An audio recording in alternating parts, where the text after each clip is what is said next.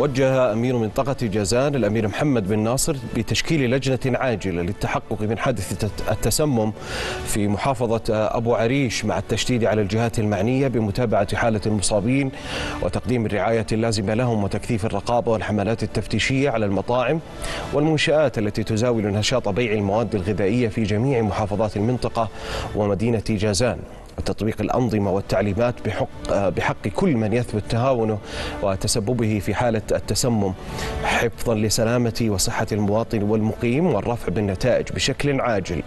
وفي ذات السياق أغلقت بلدية أبو عريش المنشأتين اللتين تسببتا في حالة التسمم من قبل احترازيا حتى تظهر نتائج التحقيقات.